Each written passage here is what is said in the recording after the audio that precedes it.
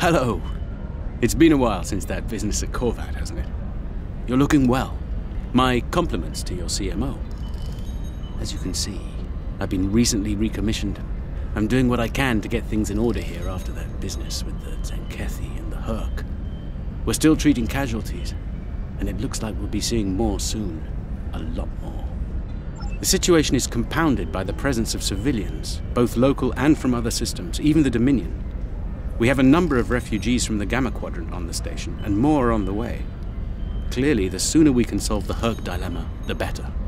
We'll be beyond our capacity to help the refugees soon, as will Bajor. Something on your mind?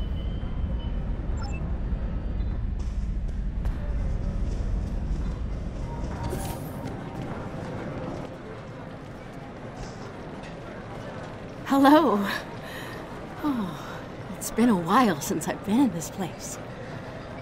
I can't believe Quark still has that hollow me in here. It's a little embarrassing, to be honest. I wish we were all here under better circumstances. Then again, DS9's always been a trouble magnet. I guess peace is a little too much to ask for around here. My husband is risking a lot of capital, political and otherwise, by choosing to get involved with all of this. Fortunately, he's the best Grand Nagus to come around in a long time. The best ever, as far as I'm concerned, but I'm pretty biased on that point. Look, if I were this mirror version of me I've been hearing so much about, I'd have a lot more tactical advice to offer. As it is, my advice to you is this take a look around. Think about all the civilians, the refugees, people who are depending on you to protect them. Think about the best way you can do that, if you can. That's what I'd do if I were in your shoes. Boots, whatever. Was there something else? Yeah, in that alternate universe where good people are evil and vice versa, turns out the evil version of me is an admiral there. Real piece of work. Wears lots of leather, carries a whip. Oh, and she's in command of the evil Enterprise. I found out about her from my husband's information gathering specialists. Never hurts to be well informed, right? Rule of acquisition number seven Keep your ears open and your eyes on the mark. Was there something else?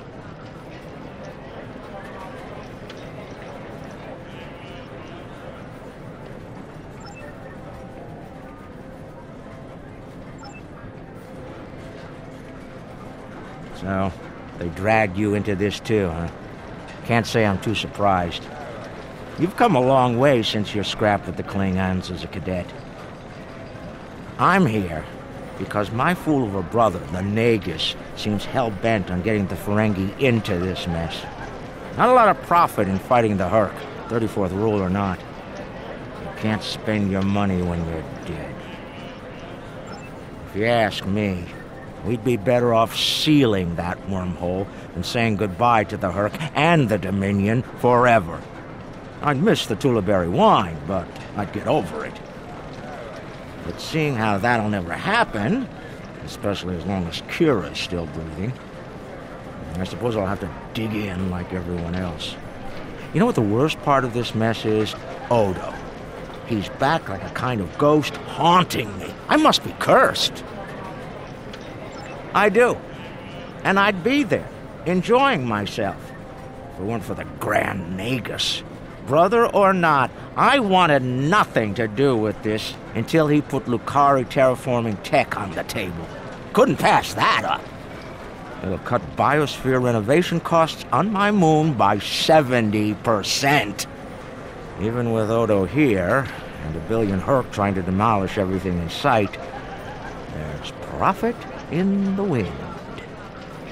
Might finally land that exclusive Tulaberry export contract I've been dreaming about for 40 years. Can I get you something? There's a number of refugee groups here on the promenade.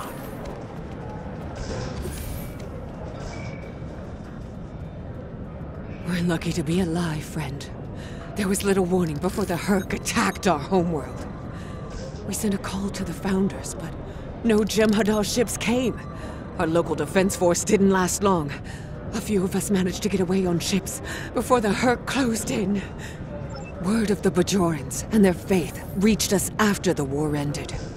There's stories about one of their spiritual leaders. She came to the worst of us, on our prison moon, to bring the wisdom of the prophets. So, when the Hur'q came, we decided to come here, through the Celestial Temple, to seek deliverance. If the Founders won't listen to us, perhaps Kai Kira and the Prophets will.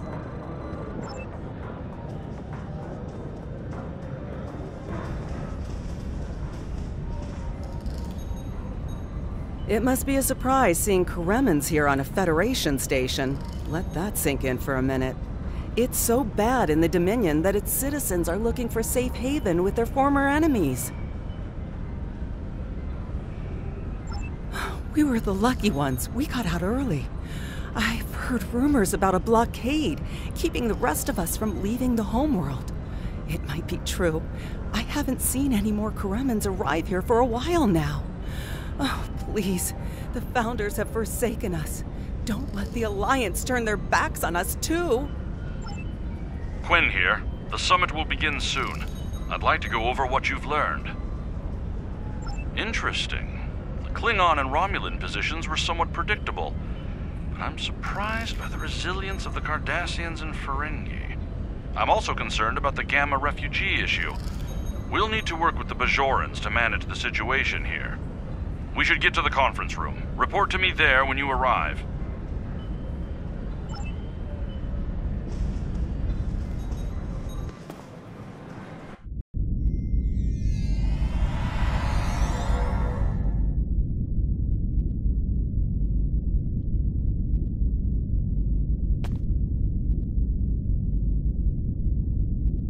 Well, everyone's here and no one started shooting. Could be worse. That was a joke. Take a moment to relax, speak with the others. Things will be serious soon enough.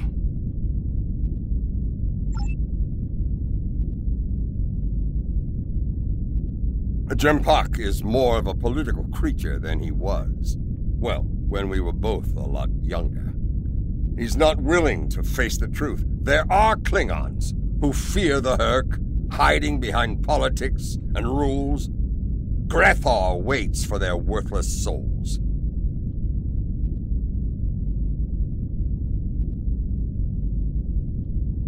Know this. There are still Klingons who know where their blades belong. We will not dishonor our ancestors and ignore the Hur'q. We will fight them to our dying breath in the name of Kahless and the Empire!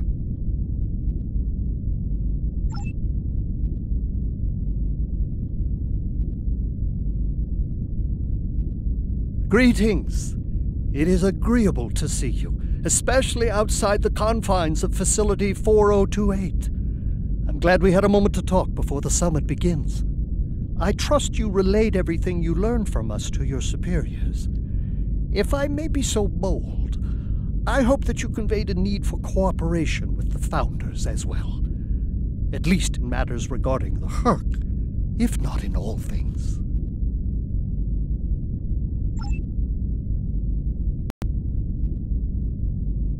Hello again. I spoke with Odo about the vision we discussed. He's agreed to clear a mission to the old sector. Opaka, the former Kai I mentioned, lives there now. I believe so, yes. The Kai has a condition that has prevented her from leaving until now. Odo has provided us with data that could lead to a cure. If there's a chance, I'm willing to take it. Her wisdom could help us all greatly. I realize this is a lot to take in, but I hope I can count on your help when the time comes.